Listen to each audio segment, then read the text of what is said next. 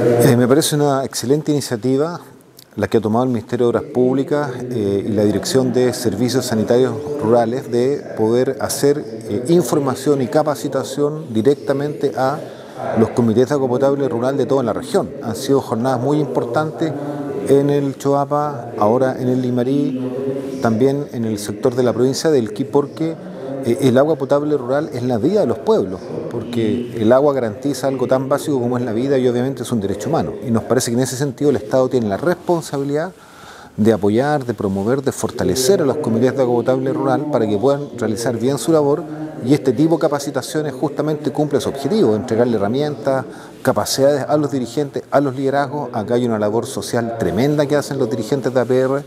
no es remunerada eh, y es fundamental para poder